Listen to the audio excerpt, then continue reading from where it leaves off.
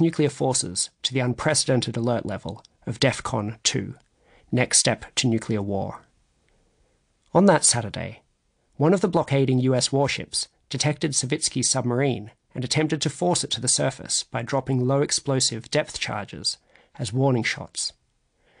The submarine had been hiding deep underwater for days. It was out of radio contact, so the crew did not know whether war had already broken out. Conditions on board were extremely bad. It was built for the Arctic, and its ventilator had broken in the tropical water. The heat inside was unbearable, ranging from 45 degrees Celsius near the torpedo tubes to 60 degrees in the engine room. Carbon dioxide had built up to dangerous concentrations, and crew members had begun to fall unconscious. Depth charges were exploding right next to the hull. One of the crew later recalled, It felt like you were sitting in a metal barrel which somebody is constantly blasting with a sledgehammer.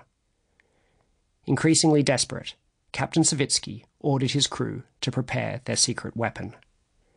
Maybe the war has already started up there while we are doing somersaults here. We're going to blast them now. We will die, but we will sink them all. We will not disgrace our navy. Firing the nuclear weapon required the agreement of the submarine's political officer, who held the other half of the firing key. Despite the lack of authorization by Moscow, the political officer gave his consent. On any of the other three submarines, this would have sufficed to launch their nuclear weapon. But by the purest luck, submarine B 59 carried the commander of the entire flotilla, Captain Vasily Arkhipov, and so required his additional consent. Arkhipov refused to grant it.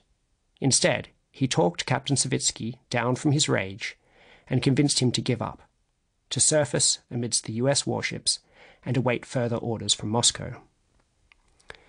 We do not know precisely what would have happened if Arkhipov had granted his consent, or had he simply been stationed on any of the other three submarines. Perhaps Savitsky would not have followed through on his command.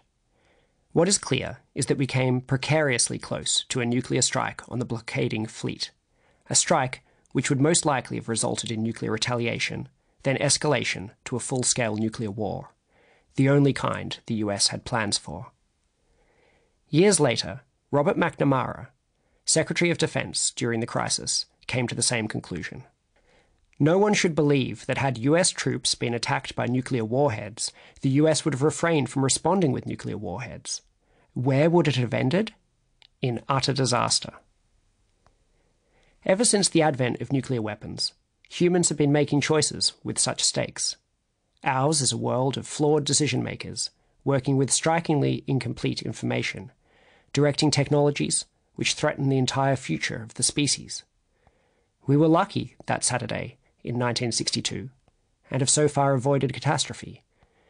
But our destructive capabilities continue to grow, and we cannot rely on luck forever. We need to take decisive steps to end this period of escalating risk and safeguard our future. Fortunately, it is in our power to do so. The greatest risks are caused by human action, and they can be addressed by human action. Whether humanity survives this era is thus a choice humanity will make. But it is not an easy one.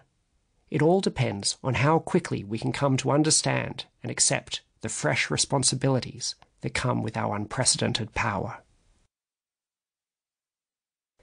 This is a book about existential risks. Risks that threaten the destruction of humanity's long term potential.